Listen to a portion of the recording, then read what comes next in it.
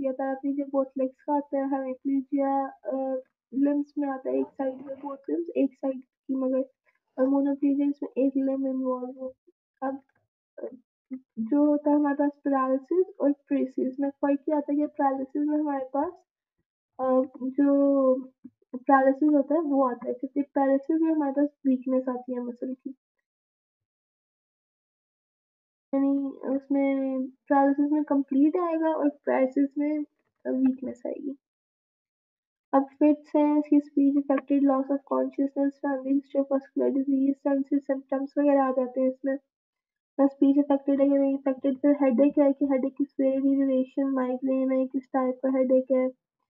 उस पर हमारे पास एसोसिएटेड फिनोमिना क्या है? इंसोमिया है, ये सारी चीज़ें इसमें आ जाती हैं। जॉइंट पेन में हमारे पास एज ऑफ़ ऑनसेट है। Morning stiffness swelling of joints कोई आर्थराइटिस वगैरह इन्वॉल्व तो नहीं है, कोई रूमेटाइड आर्थराइटिस कोई इन्वॉल्व जॉइंट परसिस्टेंट किस किस वजह से पेन है और कब कब होती है और ये सारी चीज़ें आ है। फिर हमारे पास आती है physical examination the examination should begin moment you see the patient अब इसमें हम कहते हैं कि एक पेशेंट को ऑब्ज़र्व करने के लिए हमारे पास एक टनल आई होना चाहिए। टनल आई व्यू वो आई होता है कि जिसमें आप पेशेंट को हेड से टो तक एग्जामिन करते हैं without any without any spoken skills आप अपनी बेसिस पे, अपने कह लें कि टनल आई व्यू की बेसिस पे आप एनालाइज करते हैं पेशेंट की कंडीशन को। अब इसमें इनिशिएशन ऑफ़ द ट्रीटमेंट कभी भी डिले नहीं होना चाहिए कि just for the sake of completion of routine examination अब राइटिंग आउट एग्जामिनेशन में हमारे पास आती है जनरल फ़िज़िकल एग्जामिनेशन जिसमें हमारे पास आती है सबसे पहले जनरल अपीयरेंस जनरल अपीयरेंस में मेन चीज़ क्या आती है? पोस्टर अब पोस्टर एंड में बहुत ज़्यादा चीज़ें इंपॉर्टेंट है.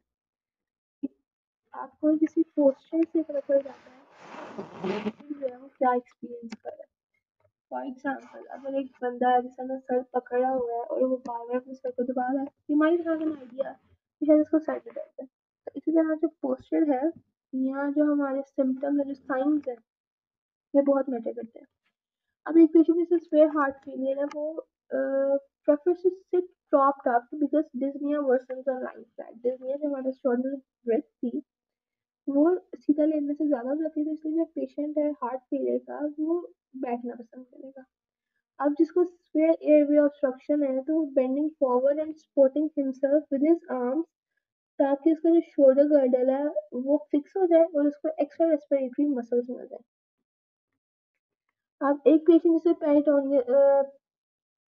पेरिटोनाइटिस का इशू है तो वो स्टिल लेटा हुआ है, क्योंकि उसे स्वेयर कॉलिक रेस्टलेसनेस है अब मेनिंजाइटिस का पेशेंट है तो उसकी हमेशा जो गर्दन है वो रिट्रैक्शन में होगी बेंट बैकवर्ड होगी, वो बार बार अपनी गर्दन पीछे फेंकेगा।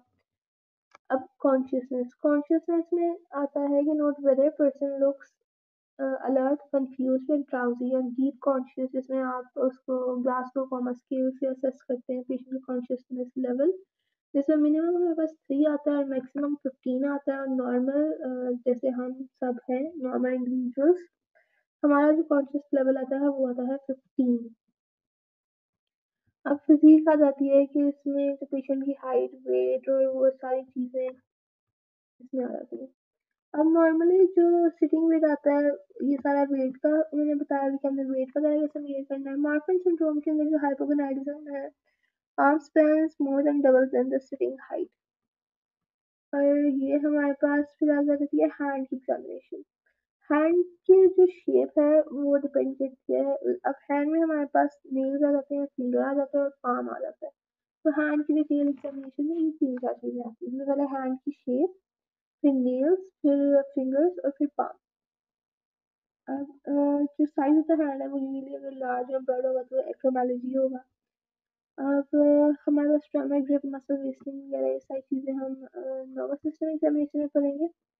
कॉमन साइंस जो हैंड में आते हैं, वो आते हैं पेलर साइनोसिस कोलिशोनिया और क्लबिंग फिंगर्स में हमारे पास Heberden node swelling of joints palm में पेलर स्वेलिंग जिसको हम आगे डिस्कस करते हैं. नेल्स अब नेल्स में जो कलर की वेरिएशन आ रही है ना, उसे हम कहते हैं पेलर और वो आते हैं एनीमिया में. मतलब नेल्स की येलोइंग हो जाना तो उसमें हम उसे कह रहे हैं कि एनीमिया का केस है. अब cyanosis means the bluish discoloration एक हमारे पास पेलर है कि नेल्स पेल में पेल कलर में आ रहा है तो एनीमिया है। साइनोसिस में आ रहा है तो वो ब्लूइश डिस्कलरेशन है और इसमें लैक ऑफ़ ऑक्सीजन है। अब पोलिशोनिया में ये है कि जो नेल्स हैं वो ब्रिटल हो जाते हैं और स्पून शेप हो जाते हैं। क्लबिंग में ये होता है कि जो एंगल है नेल का वो लॉस हो जाता है। यहाँ पे ये हमारे पास स्पून शेप नेल्स हैं, ये नॉर्मल एंगल है। और ये हमारे पास अर्ली क्लबिंग ये लेट क्लबिंग और फ्लक्चुएशन भी आ जाती है नेल बेस में। अब डिफरेंट जो है ना इश्यूज़ आ जाते हैं इसमें। अब हमारे पास आता है ड्रम स्टिक शमरोद साइन आता है कि जब जो दो फिंगर्स है ना, वो अप्रोक्सीमेट होती है ना नॉर्मली तो there space between the two nails अब it is the absent in clubbing मतलब क्लबिंग के केस में जब क्लबिंग नहीं है तो शमरोद शमरोद साइन कब होता है? तब होता है कि जब फिंगर्स को अप्रोक्सीमेटली पास किया जाए ना when fingers when two fingers are approximated तो normally there is a space between two nails normally होती है, लेकिन जब नहीं होती तो मतलब क्लबिंग एब्सेंट है। तो ये कौन सा साइन है?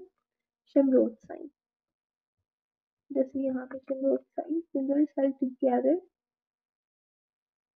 यहाँ पे ये नॉर्मल है। There is no clubbing in तो ये शमरोद साइन नहीं है।